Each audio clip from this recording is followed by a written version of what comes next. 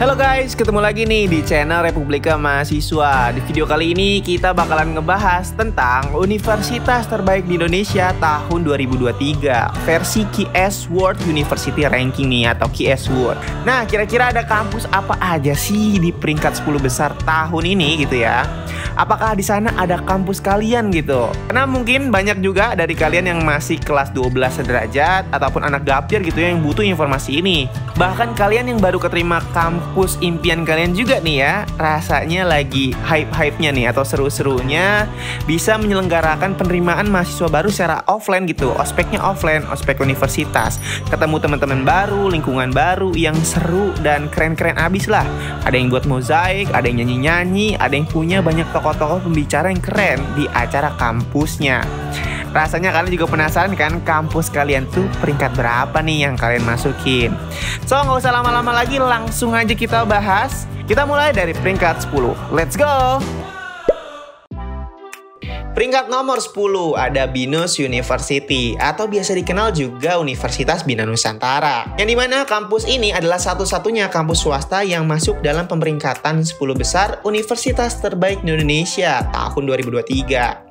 Hal itu nggak bisa kita pungkiri karena BINUS memang sudah beroperasi di dalam pendidikan perguruan tinggi di Indonesia tuh cukup lama. Dan bahkan saat ini mereka sudah memiliki banyak kampus dengan jurusan yang sangat lengkap.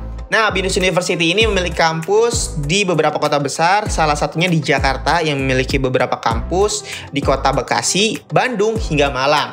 Buat kamu yang mau kuliah di sini sih nggak perlu tuh yang namanya ikutan SNMPTN ataupun UTBK SBMPTN, walaupun sebenarnya ada penyeleksiannya juga untuk masuk kampus Binus ini. Tapi yang harap kamu pastikan adalah kamu siap merogoh kocek lebih dalam, karena kampus swasta mungkin memang memiliki pembiayaan lebih mahal, namun memberikan fasilitas dan kualitas yang oke punya juga. Pokoknya Pokoknya cukup keren lah kampus swasta yang satu ini.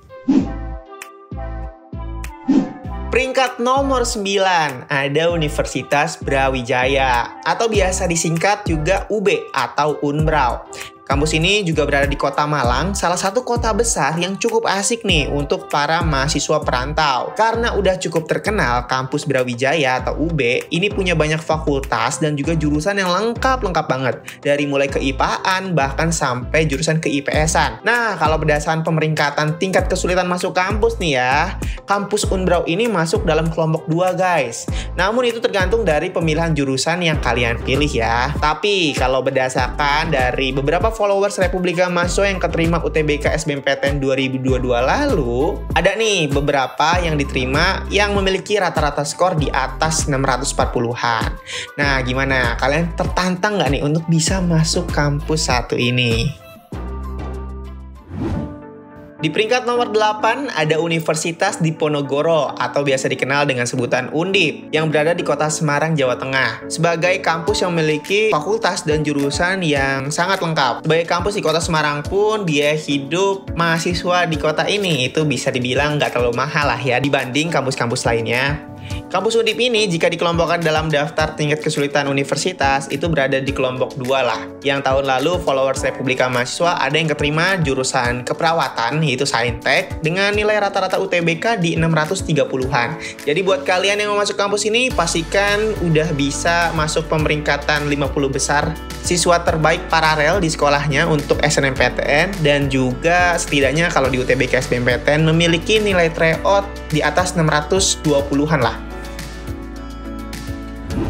Di peringkat nomor 7 ada Universitas Pajajaran atau biasa dikenal juga dengan sebutan UNPAD. Kampus yang satu ini tuh berada di Jatinangor, Kabupaten Sumedang. Namun memang dulunya kampus ini tuh berada di Kota Bandung, Jawa Barat gitu, sebagai kampus utamanya. Yang memang memiliki wilayah yang sejuk dan asri, entah itu di Bandung ataupun di Jatinangornya. Nah, kebetulan tahun lalu banyak followers Republika Mahasiswa yang keterima di kampus Unpad. Dan kalau boleh diperingkatin, kampus Unpad sih masih dalam kategori kelompok 2 ya, sebagai kampus yang sulit dimasukin gitu.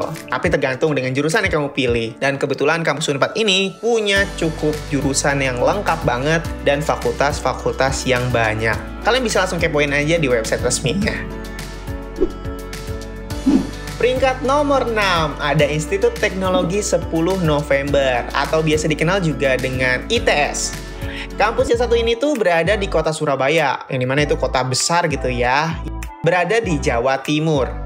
Yang di mana kampus ini cukup terkenal dari mahasiswa-mahasiswa tekniknya yang beberapa kali menjuarai perlombaan internasional yang cukup membanggakan gitu ya. Beberapa followers Republika Mahasiswa tahun 2022 diterima jalur UTBK SBMPTN memiliki skor yang cukup lumayan gitu. Ada yang dari 630, 670, bahkan sampai 730. Ya karena itu memang jurusan favoritnya di teknik elektro. Buat kamu yang mau keterima di jalur SNMPTN ya pasti pastikan aja kamu peringkat 10 besar paralel di sekolah kamu dan punya banyak prestasi tentunya ya. Nah, sebelum masuk ke peringkat 5 besar universitas terbaik Indonesia yang kita tahu akan semakin sulit masuk dan diterimanya ya. Aku mau kenalin dulu nih sponsor di video kali ini, yaitu ada Bimbel, BIC. Ini tuh merupakan bimbingan belajar yang rekomendasi banget nih buat kamu yang mau masuk ke perguruan tinggi negeri impian kamu ataupun sekolah kedinasan yang kamu inginin. Karena memang untuk masuk ke perguruan tinggi favorit atau sekolah kedinasan itu butuh persiapan lebih awal dan kalian butuh bantuan untuk belajarnya juga supaya lebih konsisten dan terarah. Nah, BIC ini menyediakan kelas online dan juga offline nih dan sistem belajarnya pun sudah disesuaikan dengan seleksi kampus saat ini yang udah berbasis digital. Jadi nanti mengerjakan soal dan lain-lain itu melalui tablet dan smartphone. Dalam persiapan belajarnya, kamu juga bakal ditemenin sama tutor-tutor yang memang berpengalaman banget nih, memasukkan murid-murid bimbelnya ke kampus dan juga sekolah kedinasan yang mereka impiin. Gak cuma nyiapin untuk perguruan tinggi aja ya guys. PIC ini menyediakan program karantina untuk kamu yang ngincer program kedokteran. Ada juga program untuk kamu masuk kedinasan dan juga program buat kamu yang mungkin mau masuk sekolah akademi nih kayak Akpol ataupun TNI. Buat informasi lebih lengkapnya kalian bisa cek aja di kolom description gitu ya untuk kepoin lebih detail soal program, biaya, apa yang kamu dapat, dan berapa banyak alumni yang sudah berhasil diterima kampus dan sekolah kedinasan impiannya melalui bimbel BIC ini. Kalau menurutku sih biayanya cukup ramah di kantong dan sangat worth it. Hehehe. Dan kita lanjut ke peringkat nomor 5. Peringkat nomor 5 ada Institut Pertanian Bogor atau biasa kita kenal dengan sebutan IPB. Dari namanya aja kalian udah tahu ya bahwa kampus ini tuh berada di kota Bogor. Dan di tahun 2023 mereka ini baru saja memiliki seremonial penerimaan mahasiswa baru yang cukup meriah gitu, membuat mozaik hingga mendapatkan rekor muri loh. Hahaha. Nah, buat kamu yang mau keterima di IPB jalur UTBK, followers Republika Mahasiswa tahun lalu ada nih yang keterima di salah satu jurusannya yaitu fisika dengan skor ya rata-rata di 630-an. Memang untuk kampus kelompok 2 ini seperti IPB ya amannya sih kamu memiliki rata-rata UTBK itu di atas 630 ya. Dan buat yang SNMPTN tuh agak cukup rumit mengukurnya. Pastiin aja kalian itu anak terbaik di sekolah dengan punya banyak prestasi. Nah, buat kamu yang mau tahu informasi fakultasnya ada apa aja, jurusannya apa aja, aja, kalian bisa langsung kepoin tuh di website resminya. Peringkat nomor 4 ada Universitas Erlangga atau biasa dikenal juga sebutannya UNAIR. Kampus ini merupakan universitas terfavorit yang ada di kota Surabaya, Jawa Timur guys. Dan memiliki fakultas jurusan yang sangat-sangat lengkap. Mulai dari keipaan sampai ke IPS-an. Nah, kalau untuk skor UTBK diterima kampus ini, sayangnya tahun lalu nggak ada nih followers Republika Mahasiswa yang tercatat keterima SBM ke kampus UNER ini. Tapi kalau dilihat dari kelompok universitasnya dari data Republika Mahasiswa, yang di mana itu kelompok 2, setidaknya di UTBK kamu kamu harus nyiapin skor rata-rata minimal ya 630-an lah untuk amannya. Semakin tinggi, semakin baik. Di peringkat nomor 3 ada Universitas Indonesia atau biasa kita kenal UI. Kampus utama UI ini berada di kota Depok, Jawa Barat guys. Walaupun ada juga kampus kedokteran yang ada di Salemba, Jakarta. Tapi buat perkuliahan inti, kamu pasti kuliah di kampus Depok. Nah, kebetulan nih di UTBK SBMPTN 2022 lalu banyak followers Republika Mahasiswa yang terima di kampus UI ini. Kalian bisa lihat sendiri nih datanya. Cukup beragam kan? Mulai dari skor 610-an bahkan sampai skor 750 nih ada yang diterima di kampus UI. Kalau yang 750 sih ini memang jurusan favorit ya psikologinya dan bisa dikatakan ini skor yang sangat tinggi lah. Di peringkat nomor 2 ada Institut Teknologi Bandung atau biasa dikenal dengan sebutan ITB. Nah, kalau kampus yang satu ini tuh udah jelas ya, ada di kota Bandung, Jawa Barat. ITB merupakan kampus yang favorit dan beberapa followers Republika Mahasiswa banyak loh yang keterima di UTBK 2022 lalu. Berikut datanya. Gimana? Cukup keren kan? Followers Republika Mahasiswa ada yang keterima dengan skor 620-an, bahkan beberapa ada yang hampir menyentuh skor 700. Buat kalian yang penasaran nih, ada fakultas apa aja di ITB gitu ya? Aku sepil deh beberapa fakultasnya. Dan harap kamu tahu ITB itu nggak cuma punya satu kampus saja. Ada kampus Cirebon, Jatinangor, dan lainnya juga. Selagi kamu nggak pilih kampus utama, itu persaingannya lebih mudah guys.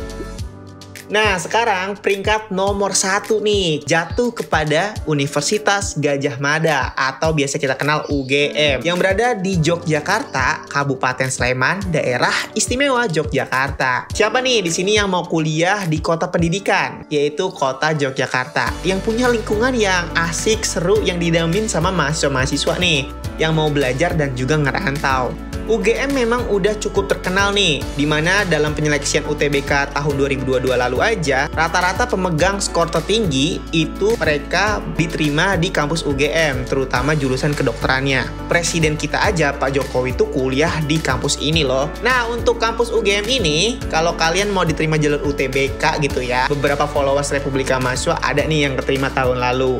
Dengan skor yang beragam gitu, dari mulai 650-an di jurusan tata kota gitu ya. Dan ada jurusan favoritnya nih manajemen. Dia diterima dengan skor 760. Wow, itu gede banget ya. Rasanya sih kalau kalian mau keterima jalur SNM atau undangan harus jadi juara kelas deh tingkat kabupaten ya minimal dengan beberapa sertifikat penghargaan lomba gitu ya.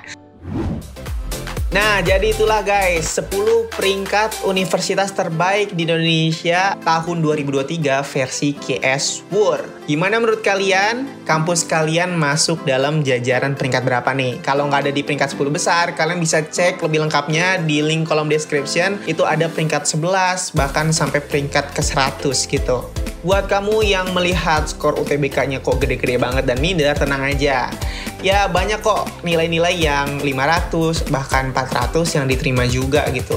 Nih aku unjukin deh beberapa data di kampus yang mungkin tidak masuk dalam 10 besar, tapi mungkin skor UTBK-nya atau penyeleksiannya lebih bersahabat buat kalian. Nah, semoga konten ini bisa membantu ya.